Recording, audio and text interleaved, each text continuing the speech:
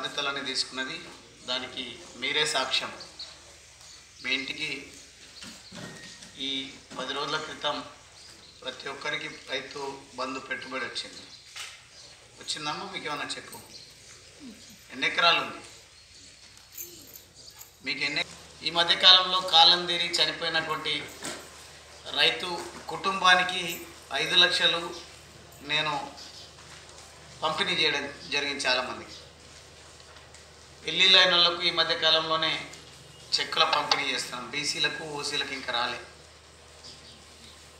మిగతా ప్రతి విషయంలో ఇంటింటికి నల్లా ఇస్తున్నాము పెన్షన్లు ఇస్తున్నాము తర్వాత కడుపు నిండా కరెంట్ ఇస్తున్నాము రోడ్లు అడిగితే రోడ్లు చేస్తున్నాం ప్రతి బాధ్యత ప్రభుత్వమే తీసుకున్నది.